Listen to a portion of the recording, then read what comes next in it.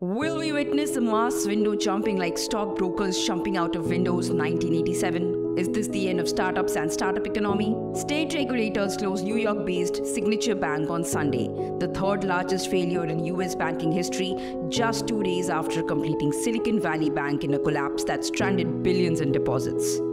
The collapse of Signature Bank has sent shockwaves throughout the banking industry and has left many entrepreneurs and startups in a state of panic. The collapse of Signature Bank came as a surprise to many.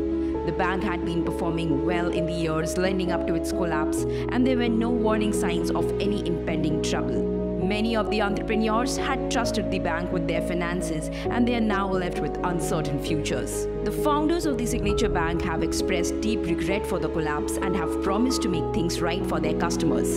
Signature was one of the few financial institutions that had opened its doors to accept crypto asset deposits, a business it began in 2018. That proved to be a bad decision as the bottom fell out of crypto assets following the collapse of the FTX crypto exchange and the subsequent criminal investigation. The collapse of Signature Bank has had a significant impact on the startup economy. According to the latest data, blockchain startups have been affected by a decrease of 25% in funding since the collapse, leaving many wondering about the reliability of financial institutions in the emerging blockchain economy.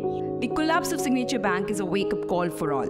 It is important to do your due diligence before trusting any financial institutions with your finances.